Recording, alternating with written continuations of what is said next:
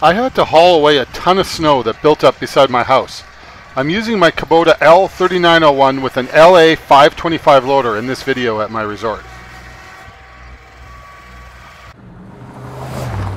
Simple Tek, technology, agriculture, and energy videos. Hitting the subscribe button tells YouTube these are the kind of videos you want to see more of. Click the subscribe button now. The snow built up pretty high, but you can see the tractor makes quick work of it. It's actually kind of fun digging through the drifts. There's a lot of power on this Kubota.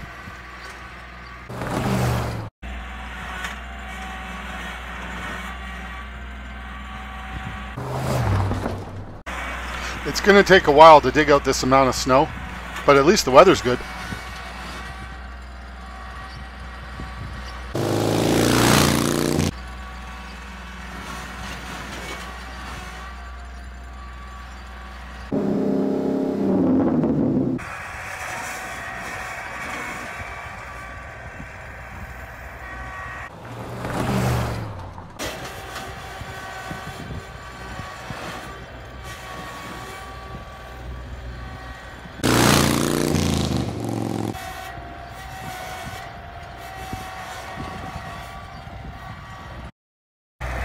I suppose if I got a bigger bucket, I could haul more snow.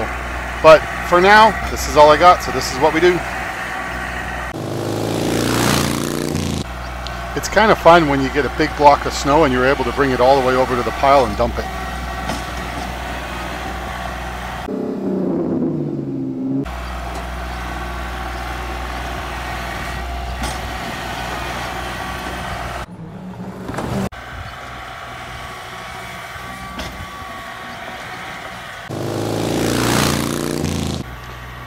Snow does stick in the bucket, but not enough to really affect the amount that you're hauling.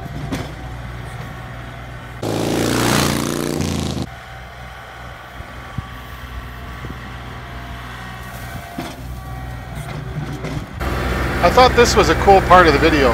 It was kind of difficult to film with one hand and drive the tractor with the other, but I think it turned out okay.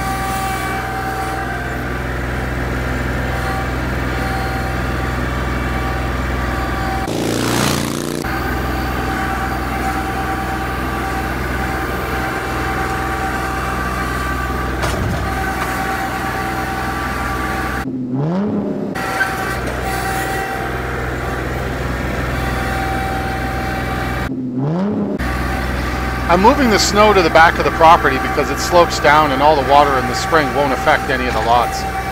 That's it for now. Thanks for watching. I really appreciate the time watching me load snow and if you get a chance, please share this video.